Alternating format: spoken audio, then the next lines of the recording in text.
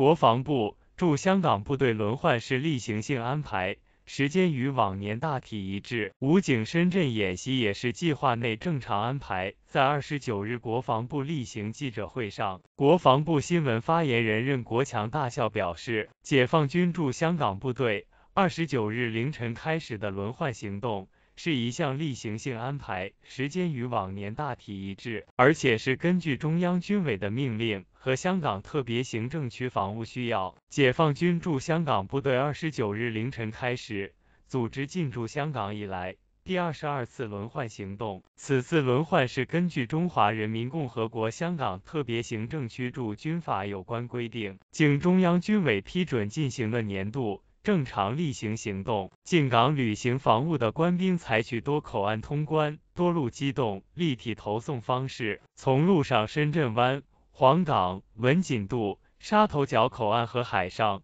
空中机动进港，进驻驻香港部队营区。在中央电视台的视频画面中，执行轮换任务的陆军部队表示，此次任务使命光荣，责任重大，任务艰巨。真正检验和考验我们的时候到了。关于香港驻军下一步的动向和打算，任国强表示将按照年度计划开展正常的执勤和训练。任国强表示，驻香港部队有决心、有信心、有能力履行好驻军法赋予的职责使命，守护香港长期以来的稳定。任国强强调，解放军进驻香港行使主权。已经二十二年了，二十二年来，解放军驻港部队始终是国家主权、安全和人民利益的坚定捍卫者，始终是一国两制的坚定捍卫者，始终是香港长期繁荣稳定的坚定捍卫者。从六月份以来，香港因为修例引起的游行示威